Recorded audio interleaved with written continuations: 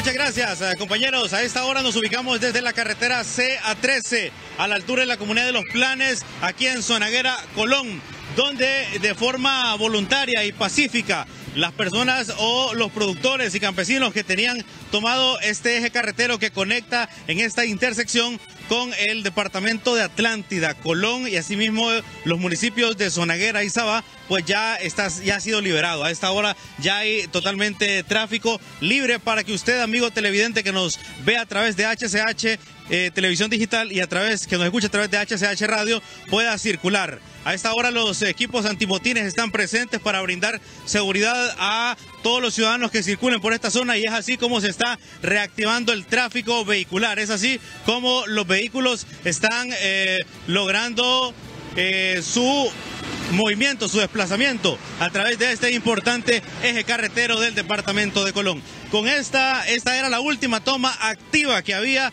acá en, Colón, ya pues eh, en Corocito y en las dos que habían ya pues fueron suspendidas y ya está totalmente libre el tráfico vehicular en toda la carretera CA13. Es por ello que la población puede circular de una forma tranquila y sin preocupaciones por cualquiera de las carreteras que integran esta zona del país. Nosotros como equipo de noticias de HCH estaremos activos para dar a conocer lo que pueda ocurrir en las próximas horas de haber eh, una actividad de protesta o cualquier hecho noticioso, lo estaremos dando a conocer a través del canal más visto en Honduras. Le invitamos a que usted, amigo televidente, que nos reporte todo lo que ocurra aquí en el departamento de Colón a través del número de teléfono habilitado, el 97 99 83 31. Con la cámara de Hugo Varela, Oscar López, volvemos al control principal allá en Tegucigalpa.